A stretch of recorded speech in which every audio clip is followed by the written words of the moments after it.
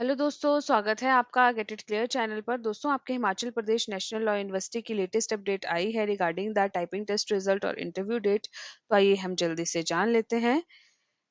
देखो गाइज़ यहाँ पर हम देखें तो इनका एक नोटिस आया है जिसमें उन्होंने मैंशन किया हुआ है कि यहाँ पर आपका टाइप टेस्ट जो था वो 4 जुलाई से 12 जुलाई तक उन्होंने कंडक्ट करवाया था और शॉर्टलिस्टेड कैंडिडेट जिनको इंटरव्यू के लिए बुलाया गया है, उनको नेक्स्ट वन में वहाँ पर उन्होंने लिस्ट उनकी अटैच कर दी है।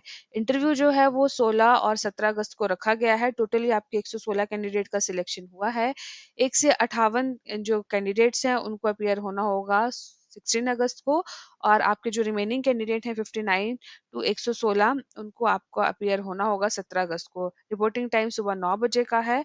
आपका Himachal Pradesh national law university campus में आपको अपने ओरिजिनल टेस्टिमोनियल्स को लेके वहाँ पर पहुँचना होगा।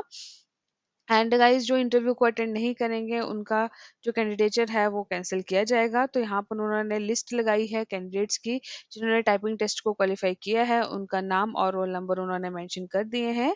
तो काइंडली आप यहाँ से चेकआउट कर सकते हैं। गाइस जैसे कि मैंने आपको बोला टोटली कैंडिडेट्स आपके 116 हैं। ठीक है गाइज़ तो गाइज़ अगर आपको वीडियो अच्छा और हेल्पफुल लगा हो तो गेट इट क्लियर चैनल को लाइक कीजिए शेयर कीजिए एंड सब्सक्राइब कीजिए।